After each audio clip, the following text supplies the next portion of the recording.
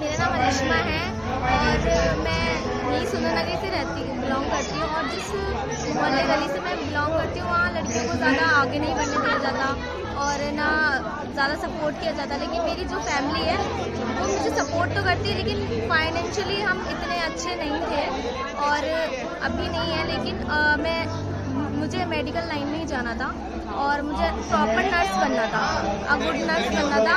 लेकिन family condition की वजह से मैं, मुझे सपना थोड़ा सा हटाना पड़ा और फिर मैं फिर मैं यहाँ होप फाउंडेशन में आई, जो मैंने सुना, मेरी फ्रेंड ने मुझे एक सजेशन दिया था कि यहाँ होप फाउंडेशन से कोर्स होता है नर्सिंग असिस्टेंट का और ये सपोर्ट भी करते हैं आपको।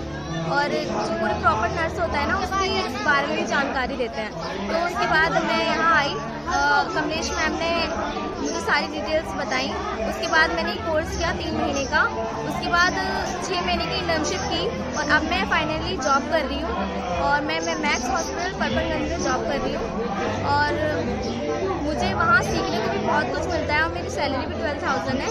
और मुझे यहाँ अच्छा लगता है और मैं जितने भी अब जहाँ मैं हूँ, मैं बी डी और होम फाउंडेशन की वजह से हूँ। और कमलेश मैम ने मुझे इतना समझाया और मुझे सपोर्ट किया, मेरी फैमिली में इतना सपोर्ट किया तो मैं उसको भी बहुत ज़्यादा थैंक यू करना चाहूँगी।